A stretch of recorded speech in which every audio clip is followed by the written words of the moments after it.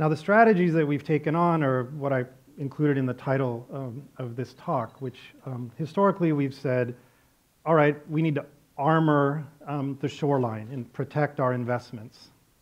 Here's just a few examples. Building a seawall to protect homes that you know, got probably built a little too close to the ocean in the first place.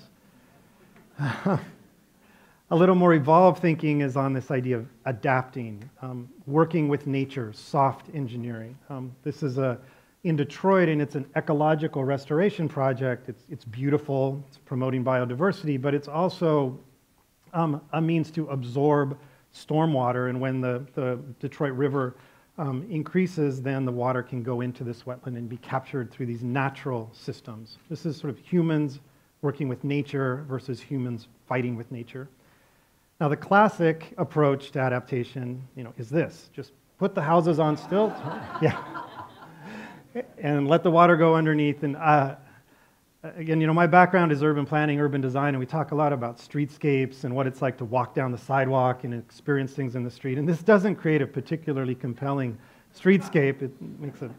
Um, and then, of course, if things get too bad, you just have to retreat. And this is in uh, Boston Harbor, and this uh, little island where the home was built just gradually disappeared.